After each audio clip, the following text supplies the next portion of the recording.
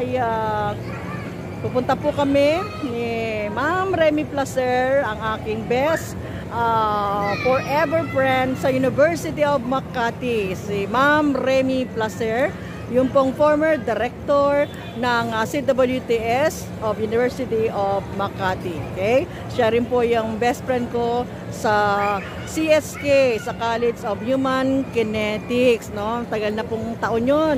From uh, 2001 po ko siya nakilala. Okay? So ngayon po ay uh, hinihintay po namin ang aming van na papunta po ng Baguio. Right? So, Baguio, here we come. Dilim. Yes, hello. Remy, lapit ka dito ah. Yes. Ha? Nasa? Oh, Rem. Hello, hello, my dear subscribers. We are here in the Lion's Head. So, in Baguio City. Okay, at uh, before 5 o'clock in the morning. So, that is the head of the lion. Of course, with me, with me is Mom Remy Placer. Oh, hello, hello, Mom Remy. Yes. Ayan. Today is her birthday. Happy birthday to you. Happy birthday to you. Happy birthday, happy birthday. Happy birthday to you. Wish mo, wish mo muna. More Yeah. travel! Ah, more travels. Yes, more travels. Okay, yes. Still, no, marami pa rin mga ah namamasyal, no, mamamasyal sa Baguio. Of course, the first station is the Lion's Head. Okay, yes, the Lion's Head. See, no? Ayan, ayan, ang dami-dami mga tao. Grabe naman dito. Okay? So, tagal-tagal ko na hindi pumunta dito sa Baguio. Bago na rin ang mukha ng ating lions. Hindi ganyan dati yan. So, very near po talaga. Ayan, ayan. Okay, this is the road. Ayan, ang road. Ayan, ang road. Ayan, ang daming sasakyan. Daming sasakyan. Okay na. Nagpapa-picture taking here ah, sa Lion's Head. Ayan, ayan, ayan. Ayan, madilim pa po, madilim pa po rito. Dito, ah, bali ito yung first station, first station. Ano sa ba? Ito, si Remy pa rin, ayan pa rin. okay, ayan, mga nagpapa-picture sila. Sorry, ay, nagpapa-picture. Yes, ayan, ayan. Okay, ayan. Okay, ayun, ayun, ayun. Oh. Go, go, go! Yes! So, the second destination of this uh, tour, of course, uh, free ako ni Ma'am Remy Placer sa tour na to. So, yung aming uh, next place na binisita ay ang Strawberry Farm.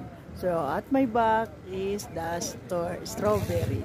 Yay! Okay. Ayan. Nice, nice. Yes. Try to look. Try to look, guys. Ayan. Hugasan ng kamay. Okay? Ayan. Kahit hindi sabihin, meron siyang kamay. And then, ayan. Alright? Ayan. Meron pa tayong isa. Meron pa isa. Another hugasan ng kamay. Strawberry-like. Ah, strawberry-like. There. Okay. Ayan. Tumutulo talaga ang ang kanilang lababo. Hugasan ng kamay bago kumain. Yes. Sara natin. Okay. I-share ko lang guys. Ah, kung saan kami ah, kakain ng breakfast after doon sa sto, ah, strawberry ah, picture, big picture, no? Ito. Okay. So, may mga limang stall.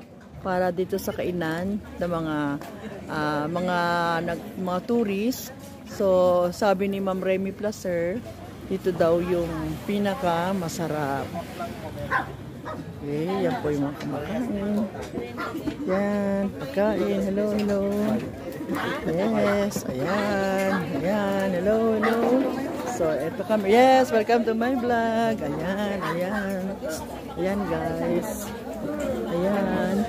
So, very good po. Ayan, parang strawberry talaga. And then, try to look uh, the breakfast meal. Okay, breakfast meal. Ayan. So, meron silang toppings. Ayan, breakfast. Okay, for breakfast. And of course, kung kakain ka naman ng mga ng tanghalian, okay, meron tayong set A, yan, set C, set B, yan, isang pangmalakihan, pwedeng panghandaan. Okay, if you want naman rice toppings, ayan siya. Okay, Marami, marami, marami pagpipilian. Yes. Ayan. Okay. Ayan. Ayan.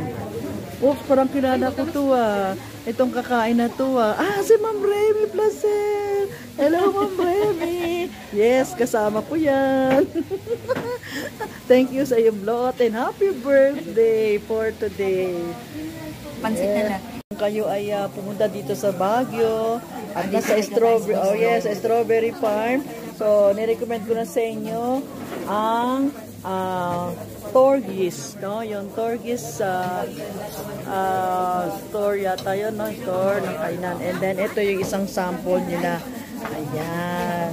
Kakainin namin ni Remy yan. So, kasi kami senior citizen, di namin kayang ubusin ng isa. Kaya nakatipid kami. Besides the story, uh, the uh, strawberry farm, meron din po dito mga stall stall, store store na mga uh, nabibili. No? Pwedeng pang, pwedeng pang, pwedeng pang uh, giveaway, tsaka pasalubong. Okay, so ayan. Ayan. Okay.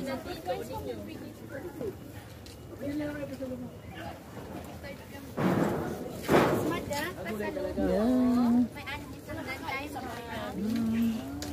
Dadalawa lang kami magkina. Here sa uh, strawberry farm, may mga stall-stall dito na nakapaligid. Okay.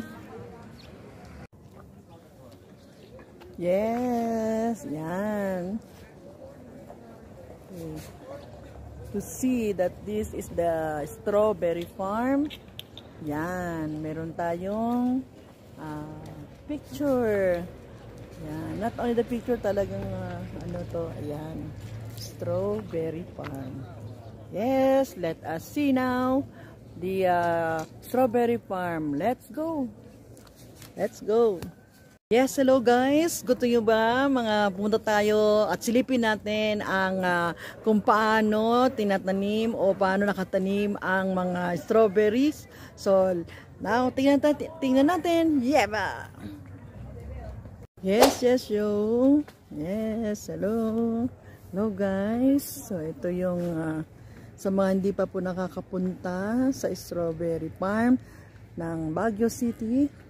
So, ito po yun. Yan, ang ganda na, no? Tagal ko nang hindi talaga nakapunta dito sa strawberry farm ng Baguio City.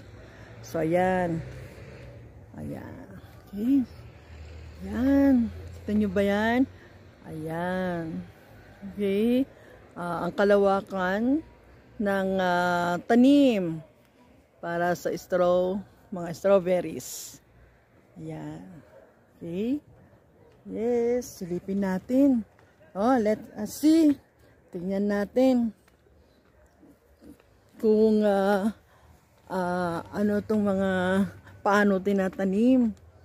Yes, ayan po. Ayan. Okay, ayan oh. Kita ba yan, guys? Ayan oh. Exciting naman. Ayan oh. See? Wait, wait lang. Wala akong nakikita bunga. Andito ko sa, sa bakod. Ayan, ang galing oh. Galing. Ayan oh. Galing oh. Wow, may mga red na. So, red means hinog na pwede nang kainin. And yet, hindi basta-basta kakainin yung mga mapipiling ah, strawberries kasi may mga ano pa yan, binib- nilalagyan ng mga gamot yan. Okay, ayan siya oh. Napakalawak oh. Ayan. Ayan. Ayan ang dami. Puro ganyan po. Puro ganyan guys. No? Mga nakabakod, mga naka mga mga naka kulambo. But ang kulambo nila ay naka-plastic. Yan. Ayan. Ayan siya oh. Okay. Ayan.